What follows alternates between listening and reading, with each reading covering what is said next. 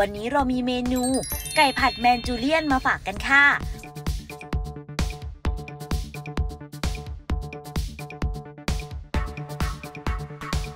วิธีทำ ใส่อกไก่ลงในภาชนะ ตามด้วยไข่ขาวและแป้งทอดกรอบเคล้าผสมให้เข้ากันเตรียมไว้ ใส่น้ำมันผสมตรามรกตไลท์ลงในภาชนะนำขึ้นตั้งไฟพอร้อน นำอกไก่ลงทอดจนกระทั่งสุกเหลือง